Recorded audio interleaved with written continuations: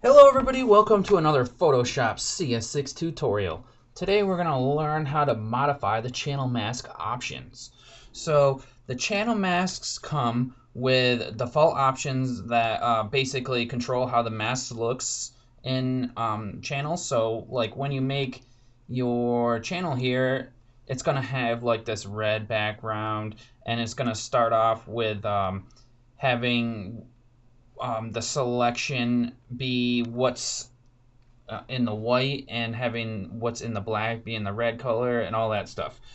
But Photoshop gives you the ability to change the default options.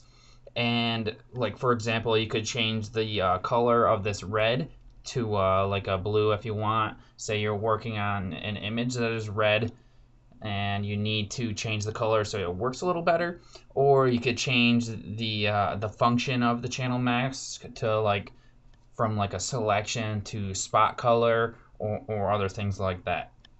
So knowing that you're able to change these or change these options helps you work better in Photoshop and gives you more control over your final results. So let's go ahead and do that. Take one of your um, channel mask that, you, that you've created already and go ahead and, and double click on it. Let's, uh, there we go. Double click on the thumbnail there. Let me uh, go back and turn it on so we can see what's going on.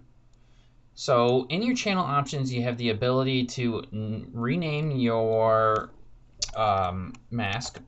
So I'm going to name this uh, moon mask.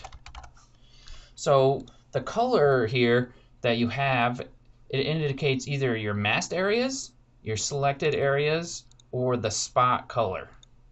And you can see that when you change to spot color, it changes the solidity, basically the same thing as opacity. So I'm just going to keep it on masked areas right now, and I'm just going to change the color here.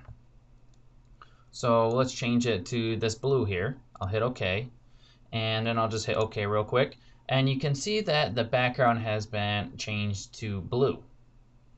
Now, this blue seems to be pretty dang uh, opaque here and not transparent enough.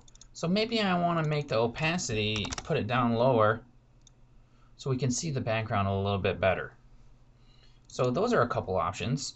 If I change this to selected areas, you can see that now the blue is over top of the white area and this has been inversed or inverted I mean. If we change this to spot color and you can see that the blue is now the spot color and it's where the um, where the uh, selection was. So when you send this off to get printed you can have this spot color channel so knowing that you have these options helps you out a lot when you're working on your project. You can also double click on one of these pre-existing channels and nothing will happen. Haha, psych. You can't change these ones here because these channels are needed to keep the color intact.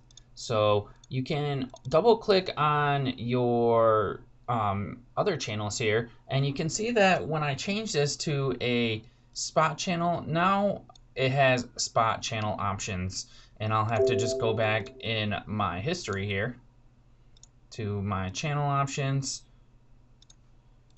and now we have our regular channel options instead of spot channel.